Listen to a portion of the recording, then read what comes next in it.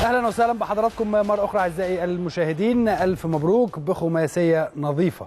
يتصدر النادي الأهلي مجموعته في بعد المباراة الثالثة في دوري الأبطال الإفريقي في دوري المجموعات.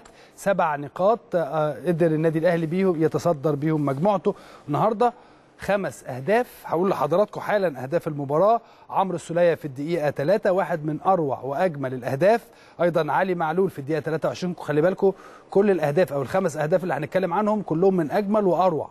في الدقيقة 23 علي معلول واحد من أحلى وأجمل وأروع الأهداف في الخمس أهداف.